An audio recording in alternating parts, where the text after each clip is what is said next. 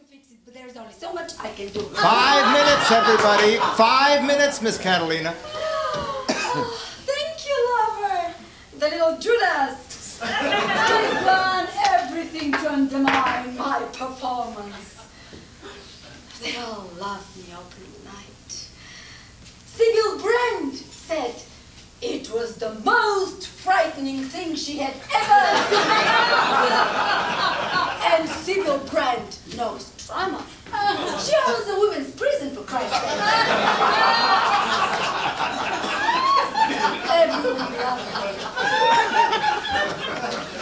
But now they've been poisoned. They've all been poisoned by that little troll of a critic and his perverted little review. and who was kind enough to see that a copy of that filthy review was delivered personally to my dressing room? Mr. Five Minutes, please, the little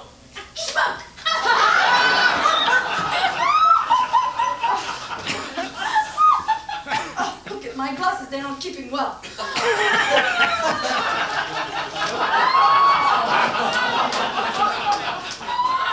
A streetcar derailed. what the hell does that mean? Katarina, Katalina, the Italian mortadella hairdress, who made headlines when she jumped out of a giant spumoni at the Clinton inauguration, has now looked into the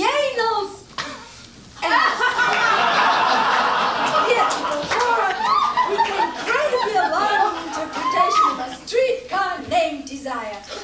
All right, so she wrote one nice line.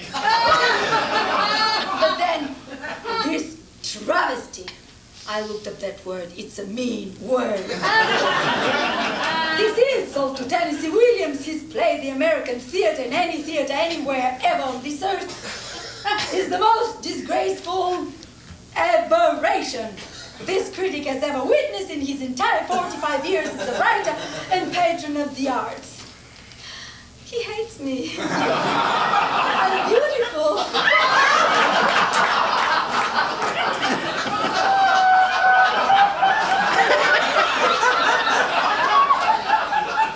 Even if you get past the accent.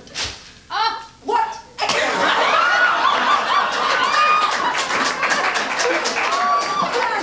It's supposed to have an accent. Good accent is like any other.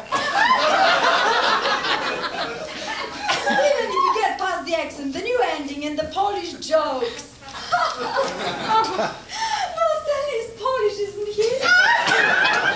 Everyone loves Polish jokes.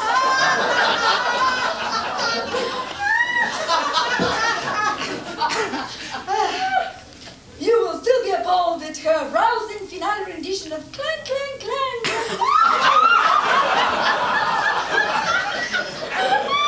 well, anyone could see that the show needed a pick me up. Tiramisu. and then he has the nerve to demand deportation. Linda! Places for Act Two, everybody. Places, Miss Katalina. Right away, dearest. Now, where is my towel? ah, my towel and that stupid tiara.